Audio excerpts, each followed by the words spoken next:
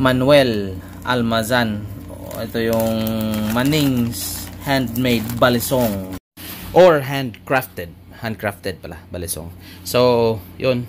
I have two pieces here that I'm going to unwrap. Here's one na kitang-kita yung kinis at pino ng pagkagawa. Saktong-sakto sa kamay ko yung handle, oh.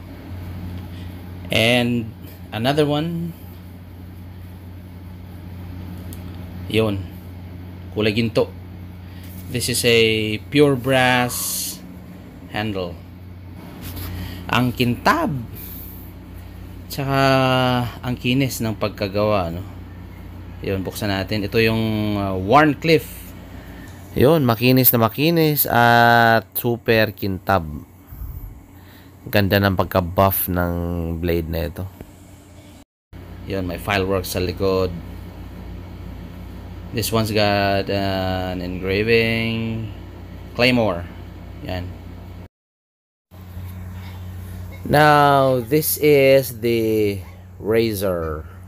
Ito yung literal na labaha. Talagang.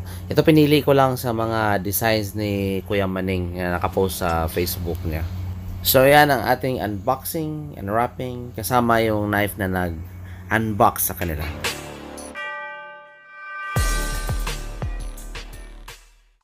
So, pag-usapan natin further itong mga exquisite pieces coming from Kuya Maning of Maning's handcrafted balisongs. Like I've said, I was blown away with the quality of this one. So far sa mga na-receive ko ng mga balisong coming from Batangas, I think this one is top notch. Well, I mean, may mga parating pa ako na mga balisong coming from other makers may dalawa pa doon na sikat na mga makers na hindi ko pa natatanggap yung gawa nila. But so far this one is the best. When it comes to the quality especially if you compare it with the price. Importante din po yun.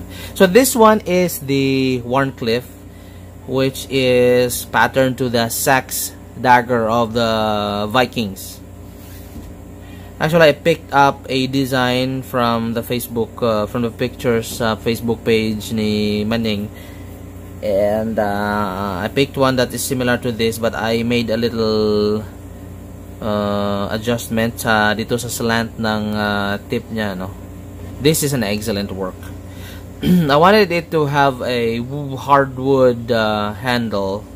So, ang nilagay po ni Kuya Maning ay uh, balayong ugat daw ito ng balayong na matigas. So brass bolsters bolsters niya pala ay sa pivot lang dito lang sa taas wala dito sa dulo. Ito yung latch. So sa kabila meron siyang fireworks and mga baon na bato. I would have wanted it to be plain lang sana but uh, sabi ni Kuya Maneng meron na eh. So um, I have no problem with that. Maganda naman eh Pati dito sa tang area, meron siyang fireworks. Galing, no? Mga extra touch ito ba, pero it adds character to the to the knife itself. I like straight edged knives because when I was younger, I also carry yung box cutter and you know, this one looks like a box cutter. In fact, I have several worn clips in my collection. This one, itong pinang-unbox natin, this one is the Pinkerton Fire Ant from Kaiser. It's a Chinese brand, but uh, a, a, company that produces really excellent knives with uh, great materials. S35VN with titanium handle scales.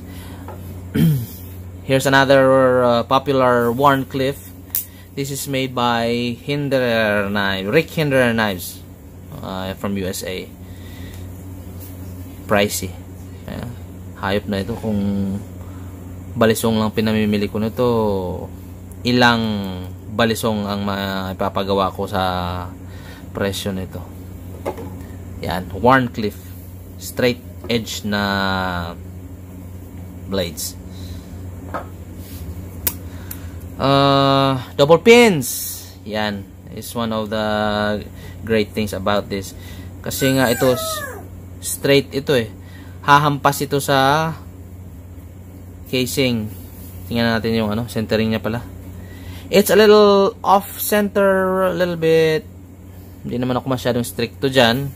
Especially knowing that this is handmade. So, mahirap i-perfect.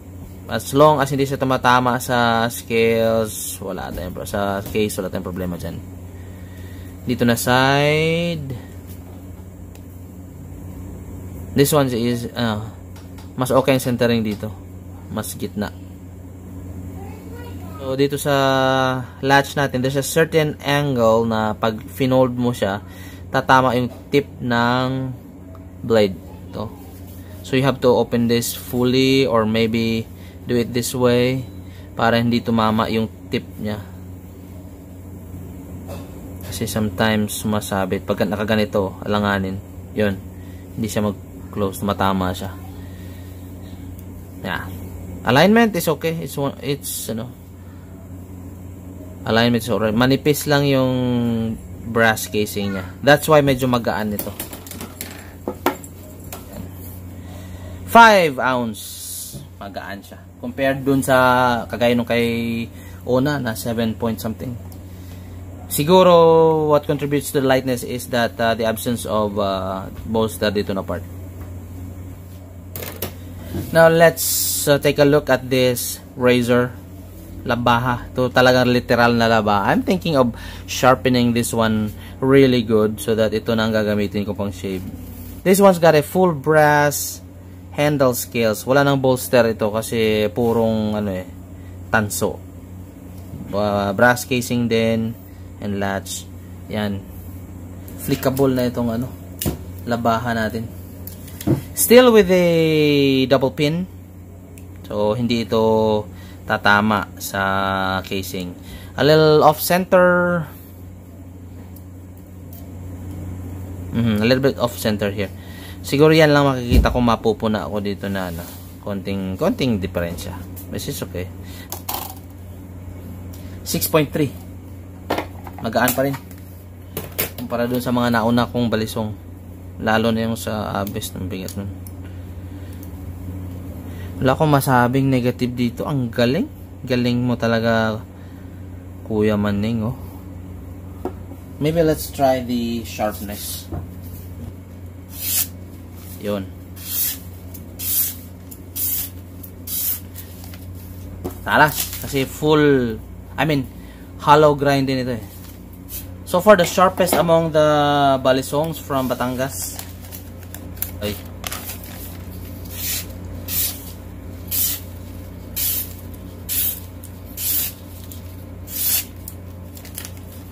There, talas.